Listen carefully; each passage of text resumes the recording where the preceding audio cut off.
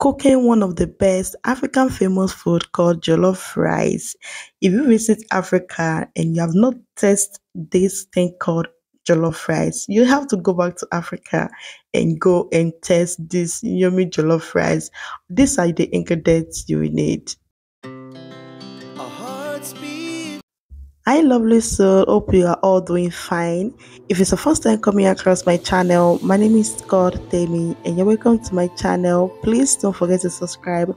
The first step you surely go for is a protein. You can use any protein of your choice at all, like any protein at all. But if you want to get that yummy jollof rice you really want, go for turkey or chicken. After you wash your protein, go on and add your seasoning. Add your curry powder, your tomato powder. If you like to use turmeric powder, go on and add your onions, your salt, like any spices you like to use to boil your protein at all.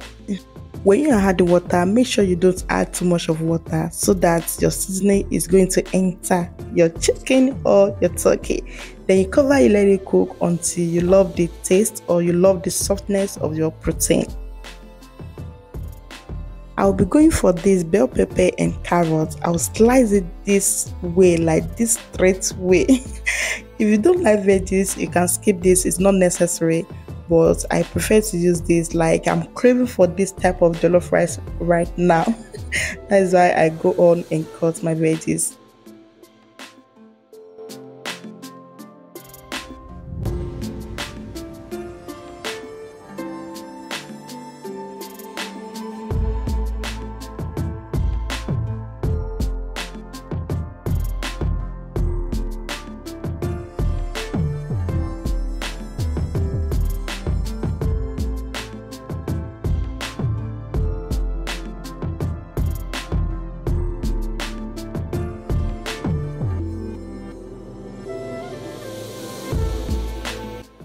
Alright, this is where the word started from. You take your pot, add your butter in your pot. Make sure you have butter. If you have butter, it's going to give you that beautiful taste. And you go on and add your vegetable oil. Don't let your oil too much. After seeing that your butter have been made, go on and add your sliced onions. I love red onions. Yeah, whenever I'm cooking my jollof rice, I love to see that scent of red onions. Then you go on and fry it for about two minutes in a low heat.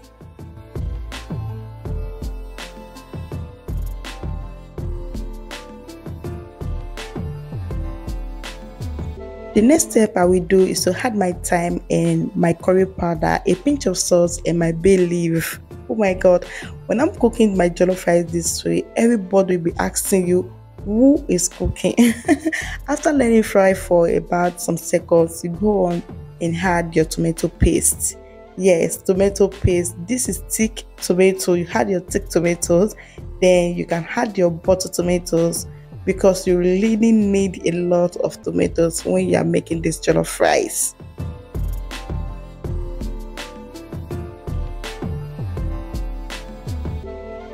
If you like spicy food, go with some habanero pepper and some onions, blend it together and pour it in your tomatoes. You are going to let this fry for about 35 minutes in a very low heat. If you don't let it fry well, it's going to be give you that sour tomato taste. This is where you have to get a lot of patience. so I need to shift my tomato at the back because I'm so hungry and I need to get everything done ASAP. So I'm trying to take out my turkey. When you are preparing jollof rice, make sure you don't throw your meat water away like your protein water because you are going to make use of it when you're making your jollof rice.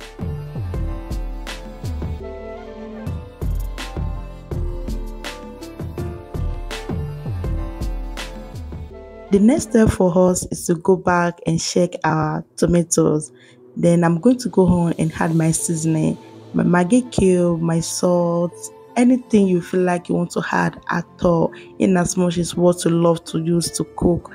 Then go on and add it. Stir it together. You should add salt with it. Then you cover it to cook for about 15 to 20 minutes again. So after 20 minutes, I will go on and add my washed rice. I don't like to parboil rice. I've seen many people parboiling the, and uh, the rice before they put it in the paste, but I don't like to parboil mine because I want everything to get done with the rice. And this is the outcome of my jollof rice. Like jollof rice. Oh my god. The next thing I will surely do, if you don't like veggies, you can skip this, then you go on and serve yourself. Your food is ready. but because I want to make it the way I'm craving for it, I had my habanero pepper, just four of habanero pepper and a lot of onions then I blend it together. I added my vegetable oil in my fry pan and I had my sliced onions on and I mixed it together. I just wanted to roast my turkey. Oh my god.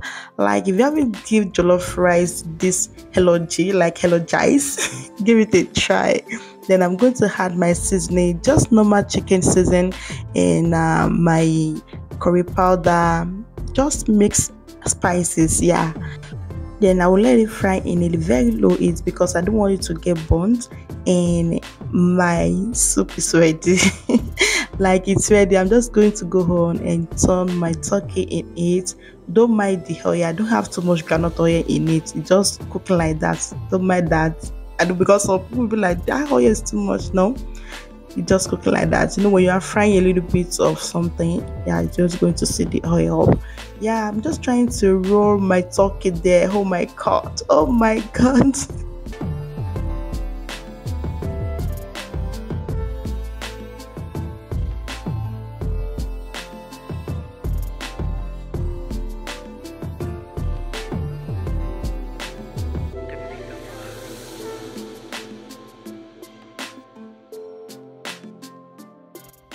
I won't let my turkey sit for a very long time. I will pack it out, then I will add my chopped onions, followed by my sliced veggies, and in a very low heat, I've got it done. I will just add a pinch of salt, then yeah.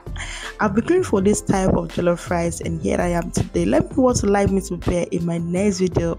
I will surely bring it out for you guys. And please don't forget to subscribe to my channel.